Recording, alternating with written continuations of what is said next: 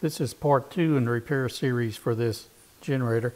This is a 23 year old generator and normally starts pretty quickly because we run the gas out of the carburetor every year before we put it in storage. Well, this year decided not to start. So in the first video, we repaired the carburetor. And after doing that, we did a compression check because it still wouldn't start and we had zero compression. So in this video, part two, we're going to figure out the source of the uh, compression problem.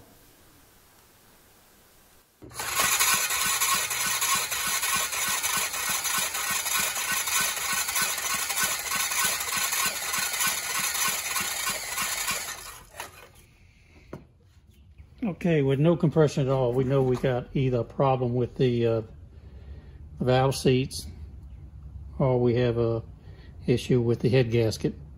So we're going to pull the heads off and see what we get. Okay, since we're pulling the head off, we're going to go ahead and take the gas tank out of our way.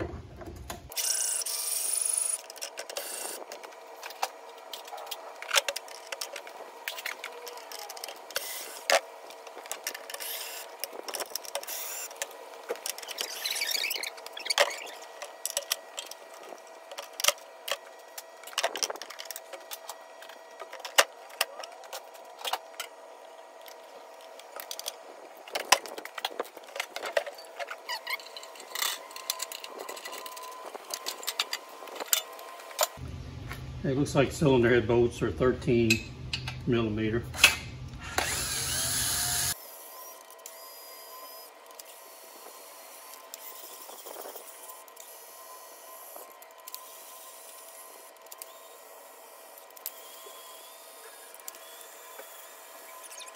Yeah, I'm gonna mark my bolts so that uh,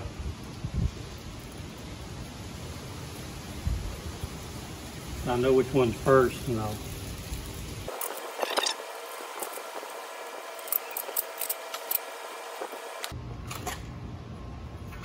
The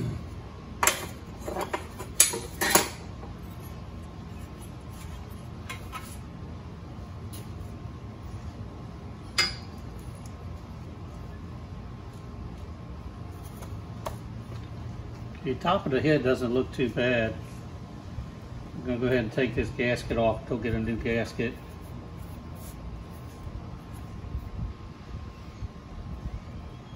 Looks like it was, the blown head gasket was right here. You can see, you can see where all the carbon built up right here. And it's, we're going to get a new head gasket and put it on there.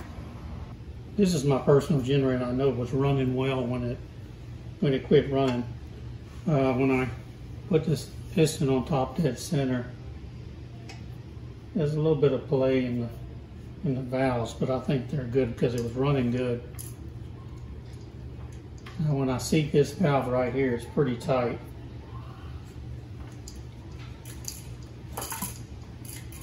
If we seat this other valve, it's a little bit loose, but that's, that's I think it's fine. I don't think I need a lap of valves. This generator doesn't have much run time, even though it's 23 years old. And uh, it was running good when I, when I put it up. So I think what I had was a head gasket leak. And I'm gonna go ahead and, uh, before I pull all these valves out and lap them and do that extra work, I'm gonna go ahead and put the new uh, gasket on and see what we get.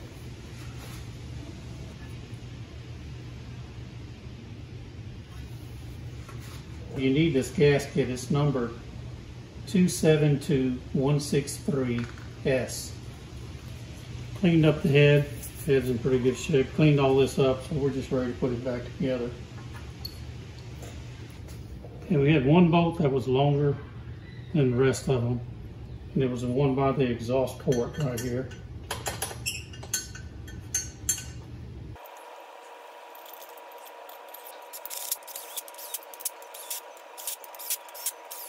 We got the torque wrench set for uh, 165 inch pounds. That's what I could find on the uh, on the internet. We're just going to start torquing them up.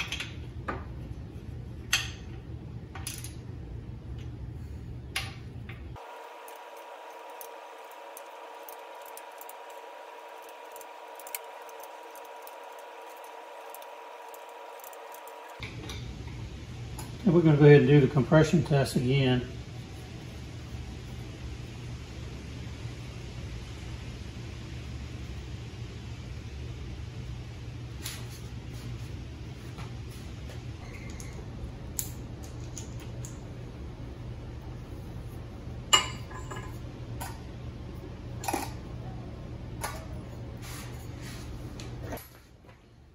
Go ahead and spin it over to see what the compression comes up to.